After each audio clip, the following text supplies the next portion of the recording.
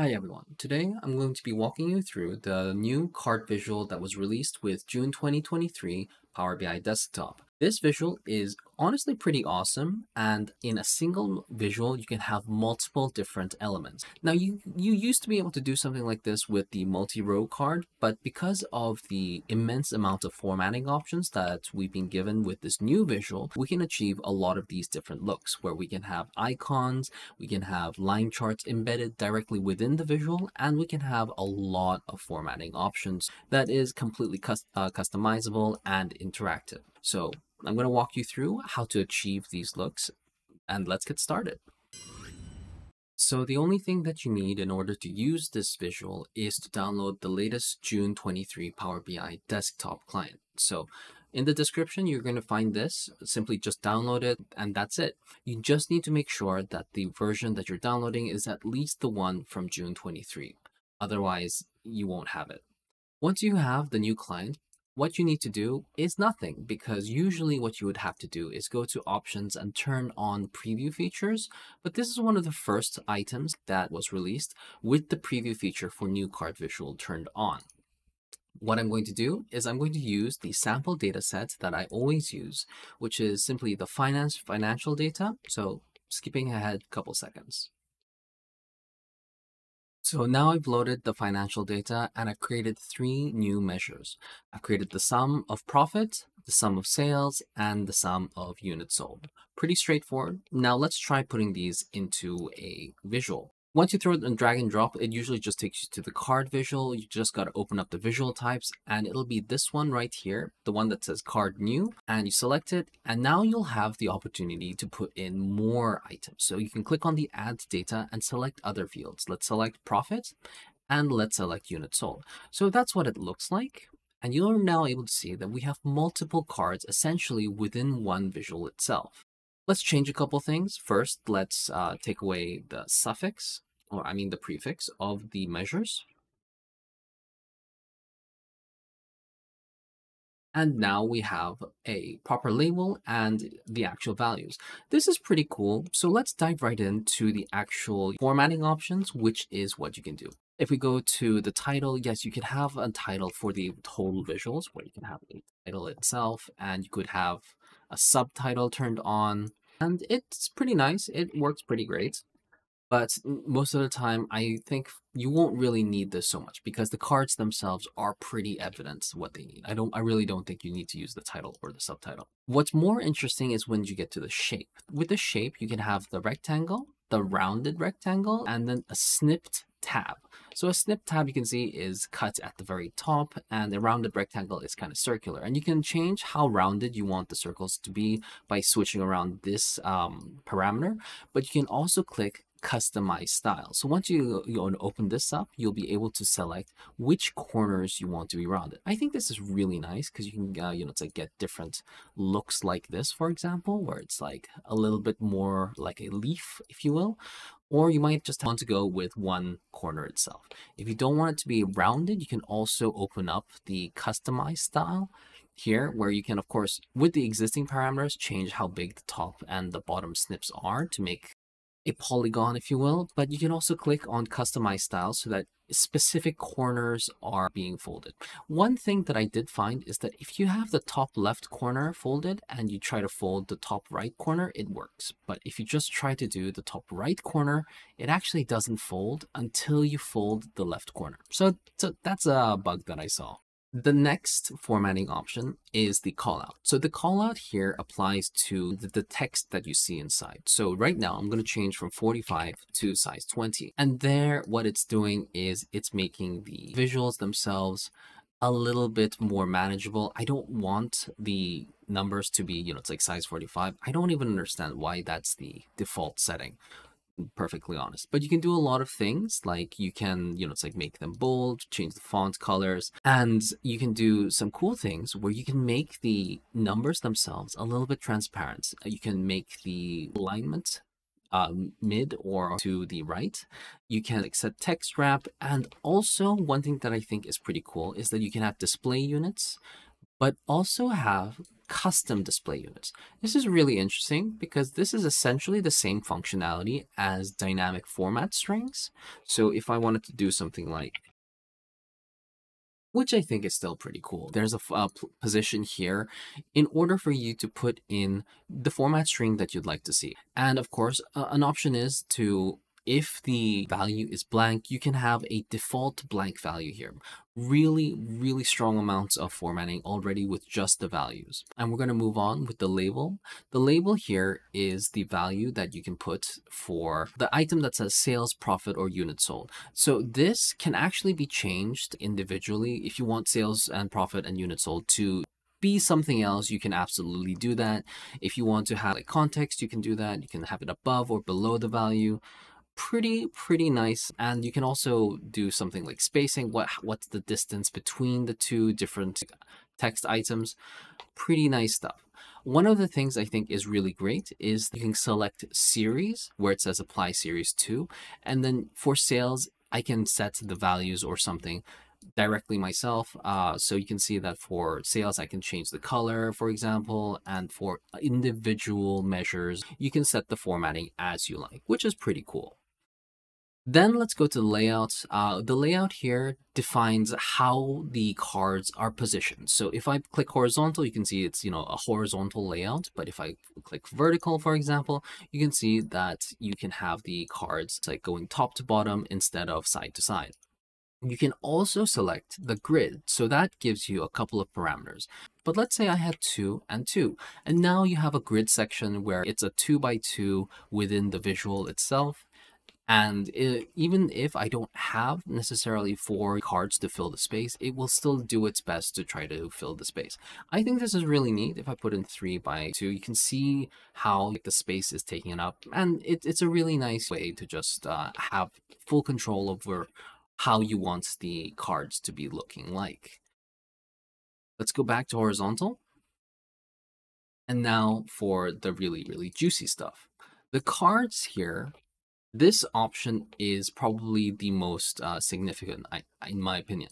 So the padding here, one is usually set at normal, but if you set wide, you can see that there is probably a little bit of space from the edge of the card to what's inside. So if you set it wide, it goes a little bit more towards the center. If you set it narrow, it goes a little bit more towards the edge. And if you set it to custom, you can see what the padding looks like. So let, let me just put this here for to like 20, for example. And you can see that the padding, which is the, uh, the distance between the card and the text is a specific amount of, you know, it's like pixels. I think this is really cool that you can like very easily select how it wants, how you want it to be done. And now let's go into these items here. These are the really important ones where the power comes in.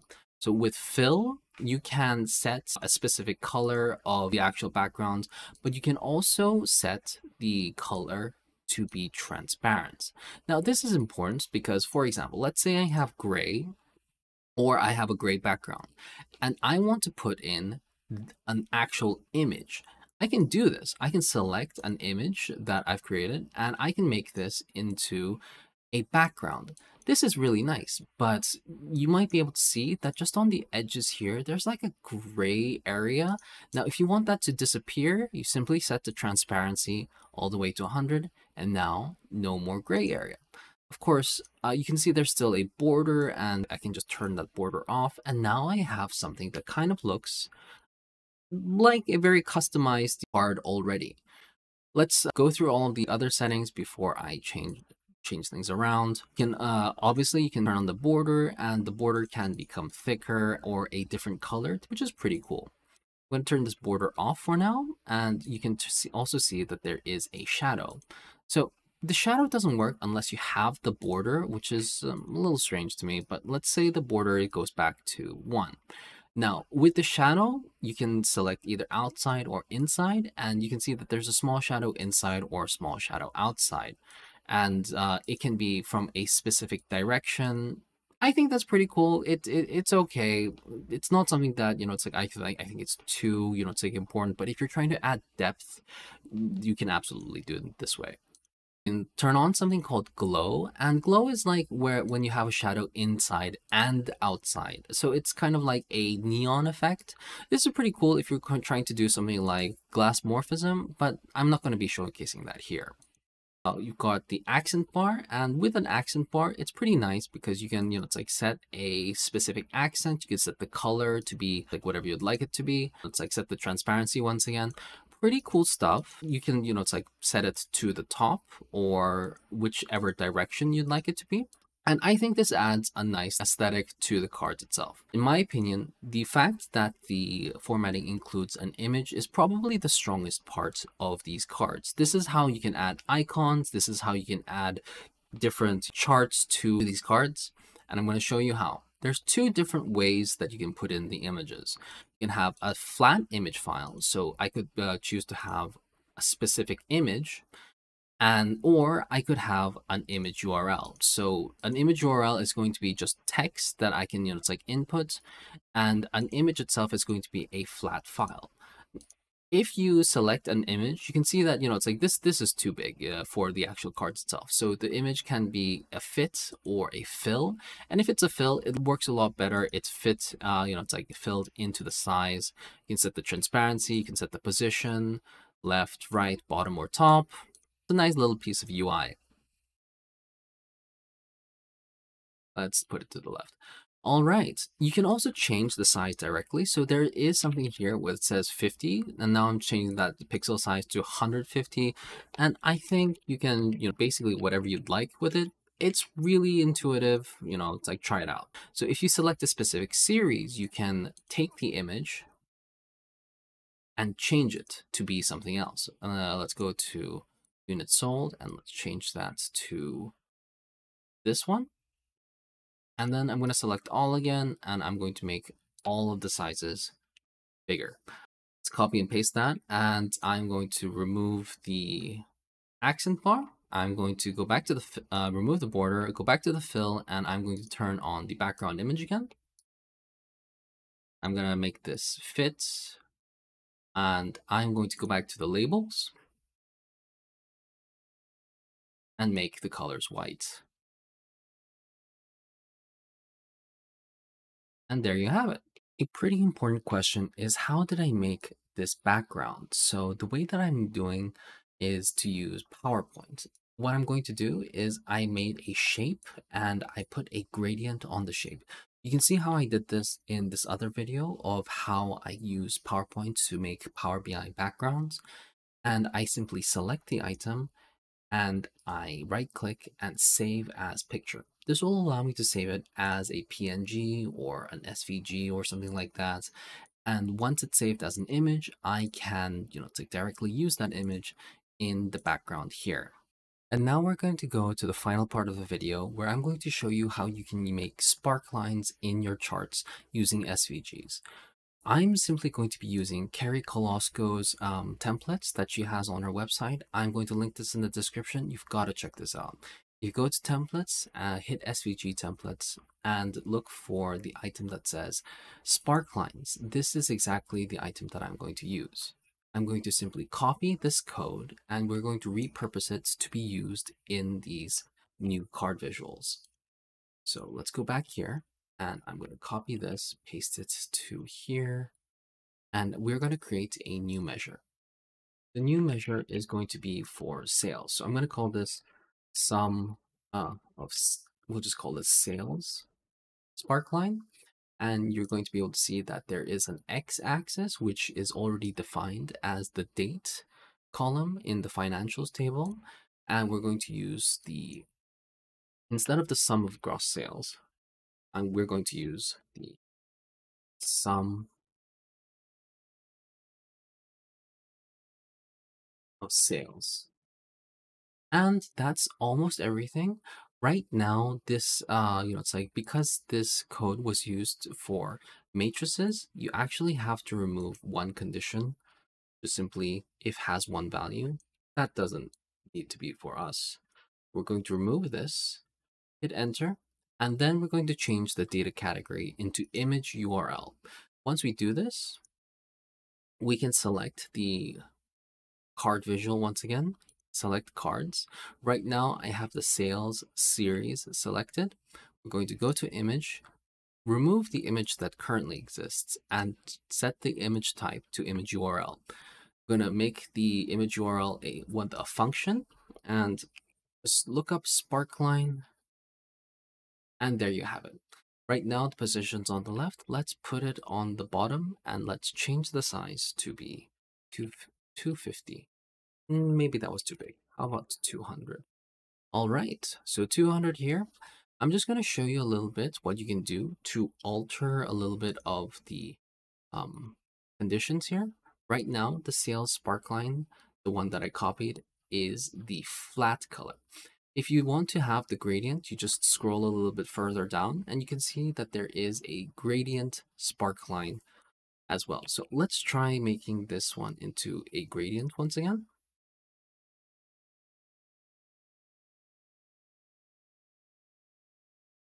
So now change this and remove the condition. And if we do this, still image URL, now you'll see there's a gradient. There's certain things that I also think you can still fix. For example, there's a line at the very end, which if you don't want to see, all you need to do is you need to make sure that this item here, the view box, is just turned down by one pixel. And now there's no edge line. If you want the actual line itself to be a little bit thinner, you can set the, um, the stroke width here to be one, for example. And it, this is just, you know, it's like HTML code to be used to create um, an image and you can modify units like this to be essentially however you want it to be. Let's take this sales sparkline and do it for the profit and for the units sold. So the final thing I'm going to show you is how to make this to look like this final bottom row here. And the way that we're going to do that is we are going to turn off not only everything else, we're going to turn off the accent bar and the border, and we're going to go to the card fill. We're going to select the background image for the picture that we have. Uh, okay, so I did this for units sold, but I need to do this for all series. So I'm going to select background image to be this. I'm going to set the value to be uh, not fill, but fit, so that everything is enclosed within this area. I'm going to make sure that the callout values are white And the last thing that I need to do is to make sure that in the actual code itself that you see here for the spark lines, everything that is navy, I'm going to make to white. Let's do this everywhere. And what this does has made everything white. So that's all for today. Thanks for watching if you've stayed with me this far, and I hope I hope you learned something. Take care. Goodbye.